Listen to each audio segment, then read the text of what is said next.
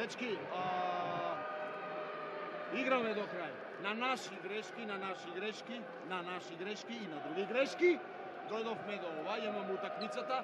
Тоа што зборам веќе два месеци, контра Зицер, контра Зицер, контра Зицер. Треба храброст, треба срце, треба верба, треба верба, треба верба. Не може да одат. Играт споро, играт споро, не го користиме, се плашиме од победа. И ако се плашиме од победа, и вака ќе проаѓаме секогаш! Секогаш! Иако напаѓаме еве јако, нема на пола. Шест грешки направим. У пет минути светски рекорд. Секоја чест. Ајде, ајде. ајде.